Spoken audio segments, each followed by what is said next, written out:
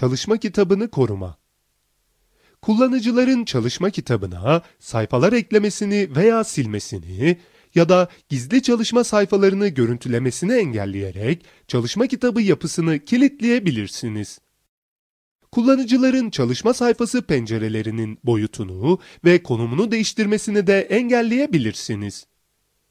Çalışma kitabı yapısının ve penceresinin korunması tüm çalışma kitabına uygulanır.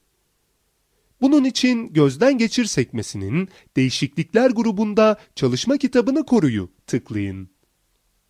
Çalışma kitabının yapısını korumak için yapı onay kutusunu seçin.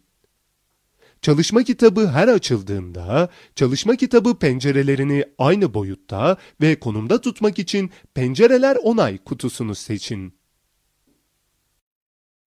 Diğer kullanıcıların çalışma kitabının korunmasını kaldırmasını önlemek için parola kutusuna bir parola yazın.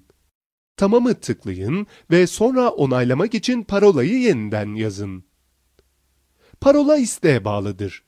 Parola belirlemezseniz herhangi bir kullanıcı çalışma sayfasının korumasını kaldırabilir ve korunan öğeleri değiştirebilir. Anımsaması kolay bir parola seçtiğinizden emin olun. Parolayı kaybederseniz çalışma kitabındaki korunan öğelere erişemezsiniz. Bu işlemi Backstage görünümünden de yapabilirsiniz. Bilgi sekmesindeki Çalışma kitabını koru açılır listesinden Çalışma kitabı yapısını koru komutuna tıklayarak çalışma kitabını koruyabilir ve şifre verebilirsiniz.